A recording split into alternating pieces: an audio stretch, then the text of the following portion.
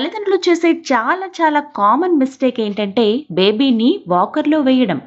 ఆరు నెలలు వచ్చి రాగానే తమ బేబీని వాకర్లో వేస్తే బేబీ తొందరగా నడవడం నేర్చుకుంటుంది అనే ఉద్దేశంతో ఎంతోమంది పేరెంట్స్ వాకర్ వాడుతూ ఉంటారు. కానీ మీరు చేస్తున్నది ముమ్మాటికి తప్పు.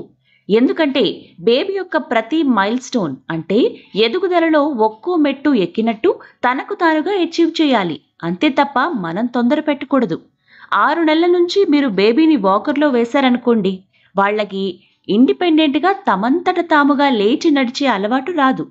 వాకర్ అనేది కేవలం ఏదో ఆట వస్తువులా వాళ్ళని ఎగ్జైట్ చేస్తుంది. ఎందుకంటే అందులో వేస్తే అటు ఇటు స్పీడ్గా వెళ్ళిపోతారు. అది చూసి మీకు ముచ్చట. అంతే తప్ప వాళ్ళకి దానివల్ల పెద్దగా గ్రోత్ పరంగా ఏమీ ఉపయోగం లేదు.